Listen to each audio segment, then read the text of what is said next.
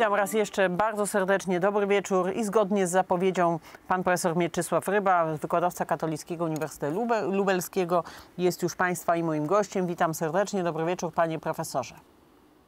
Dobry wieczór. Panie profesorze, na ile e, afera w Parlamencie Europejskim e, korupcyjno-podarkowa, podarkowo-szpiegowska, bo już i ten element e, należy mocno zaznaczać, mówił to przed chwilą na naszej antenie również pan poseł Dominik Tarczyński, opisywał dlaczego, na ile ta afera może wesprzeć paradoksalnie rząd Rzeczpospolitej Polskiej w tej konfrontacji z instytucjami Unii Europejskiej. No właśnie, pytanie, czy może, czy też nie? Znaczy przede wszystkim obsławia przeciwnika. Mówię tutaj o obozie Donalda Tuska, który w ogromnej mierze, nie tylko on, ale ten obóz opozycyjny, opiera swoją narrację polityczną i ataki na PiS na tej opinii Unii Europejskiej jako takiej. No pamiętajmy, że zwykły wyborca tak do końca nie rozróżnia. To proszę pamiętać, że to jest wszystko daleko. Komisji Europejskiej, od Parlamentu Europejskiego, a nawet od Trybunału Sprawiedliwości Unii Europejskiej. Po prostu Unia Europejska, tak to się mniej więcej rozumie, ma pretensje w stosunku do rządu polskiego za rzekomy brak praworządności i chce pozbawić nas pieniędzy lub obkłada karami no to jest obciążenie dla obywateli, którzy nie mogą korzystać z tych środków. To mniej więcej taki jest skrót myślowy, na którym w dużym stopniu opiera ten swój atak, tą swoją narrację Donald Tusk i jego otoczenie. W sytuacji, gdy mamy do czynienia z tak ogromną aferą korupcyjną i co do metod, jak, w jaki sposób ta korupcja była czyniona, no to wręcz przypominające jakieś kraje trzeciego świata, a nie nowoczesne państwo czy nowoczesną demokrację, no to absolutnie to jest y, słab, no to osłabia to, ten atak.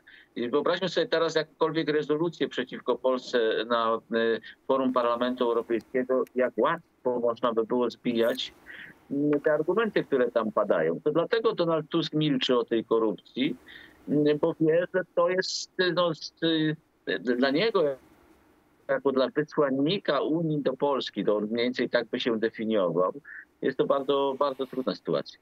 E, panie profesorze, e, mamy, mamy sprawę KPO. E, część zresztą polityków obozu Zjednoczonej Prawicy stawia tę sprawę jako jeden, jedną z głównych które mają przesądzić o wyniku wyborów. I jakby to już inna dyskusja, czy to jest rozsądne z punktu widzenia oczywiście Zjednoczonej Prawicy w ten sposób przedstawianie tej sprawy, ale, no, ale pan, poseł, pan profesor przed chwilą powiedział o tym, że gdy będzie głosowana rezolucja, no za chwilę najprawdopodobniej, jeżeli e, cały ten proces legislacyjny wokół nowelizacji nowelizacji ustawy o Sądzie Najwyższym i tak zwanej ustawy wiatrakowej się zakończy, to Polska będzie składała e, wnioski o wypłacenie funduszy z KPO. No i e, można się spodziewać, że za te kilka tygodni również e, to będzie szczyt wypływu różnych informacji dotyczących korupcji w Parlamencie Europejskim, czy tak jak pan to powiedział, w oczach zwykłego wyborcy, po prostu w Unii Europejskiej, w instytucjach Unii Europejskiej. No i pytanie, czy ta sytuacja też nie, nie sprzyja rządowi. No bo nawet jeżeli to KPO zostanie, nie zostanie wypłacone, no to można łatwo pokazać, że, że to są instytucje, które są po prostu nieuczciwe. No, część ludzi będzie to widziała, no, bo słyszy o tych gigantycznych łapówkach. Dokładnie tak. Ja nie sądzę, nie podzielam tej opinii, że KPO rozstrzygnie o polskich wyborach. Nawet nie sądzę, żeby te pieniądze wypłynęły przed wyborami w takiej masie, żeby to dało się odczuć jakkolwiek. To tylko są kwestie takiej gry wizerunkowej na różnych piętrach, dość bardzo skomplikowanej, nieczytelnej dla wyborców. Tym niemniej osłabiającej w jakimś sensie Tuska, z drugiej strony no, troszkę zamętu wprowadzającym w elektorat prawicowy, ale to już jest na inną dyskusję.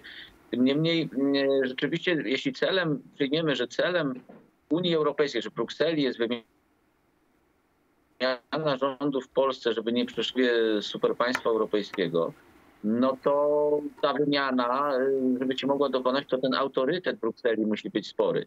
To znaczy, żeby przekonywać polskich wyborców, że to PiS jest winien, a nie Bruksela w tym sporze, no to trzeba mieć tam duży autorytet. Natomiast jeśli rzeczywiście ta afera się rozwinie, ja jest rozwojowa mocno, w sensie powiedzmy odkrywania nowych kart tego, tego, tej, tej całej korupcji, no to no to ta skuteczność będzie słabła. No i tak jak mówiłem, jeśli.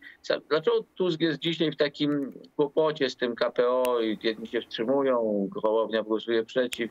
No bo, bo jeśli się całą, czy główną narrację, tę pozytywną, tak to nazwijmy, a zarazem negatywną, antypisowską, rozbijało, że ja przywiozę wam wagon pieniędzy, wagony pieniędzy z Brukseli, a PiS to blokuje, no to w takiej sytuacji to pytanie jest, gdzie ten wagon przy okazji wyładował, no i kto tam zapakował do swoich reklamówek.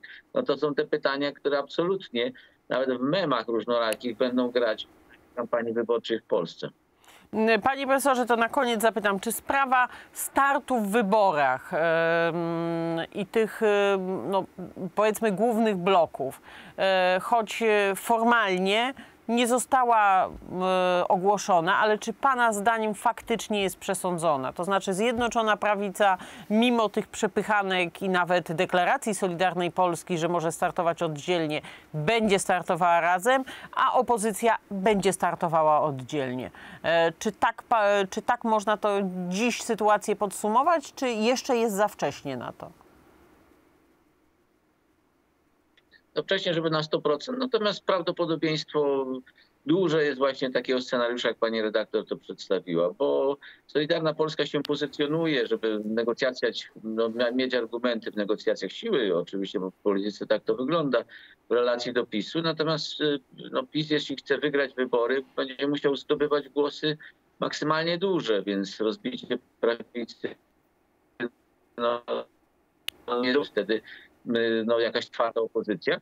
A po, po linii opozycyjnej widać, że tam nie ma zgody co do pójścia pod sztandarem Tuska. Gdyby jeszcze liderem Platformy był kto inny, jakaś nowa twarz, i sprawna, no nie mówię, żeby to była jakaś kidawa wońska, y, no to może by jeszcze to jakoś tam zagrało, czy można by było... No dobrze, ale panie pośle, to ja na koniec wejdę w słowo i dopytam, czy pana zdaniem, e, jak już pan wspomniał, kidawa błońska, czy, czy ten manewr który zastosowano wobec Kidawy Błońskiej, on może być zastosowany wobec e, Donalda Tuska, czy też nie? Jak może, pan to ocenia? Nie, nie sądzę, żeby mógłby być, ale Donald Tusk nie, nie, jest aż tak słaby wewnątrz, jest dosyć słaby na zewnątrz, ale wewnątrz nie, nie nadbezpiecznie. Mamy problem z połączeniem. Mam nadzieję, że za chwilę pana profesora ja usłyszy. Słyszę, nie wiem dlaczego. No właśnie, pan profesor nas słyszy, ale my mamy problem z usłyszeniem pana profesora, więc może jednym zdaniem się uda, jeżeli chodzi o pozycję Donalda Tuska. Tusk jest za silny w PO, żeby sobie tak pozwolić odejść po prostu i wymienić na, na, na, na nowy model, tak sądzę. I tutaj stawiamy kropkę. Bardzo serdecznie dziękuję. Pan profesor Mieczysław Ryba, wykładowca Katolickiego Uniwersytetu Lubelskiego, był Państwa i moim gościem. Serdecznie pozdrawiam. Dobrego wieczoru życzę Państwu i Panu oczywiście profesorowi, ale Szanowni Państwo, jak dobry wieczór to z Republiką. Zapraszamy. Proszę z nami pozostać. Do zobaczenia.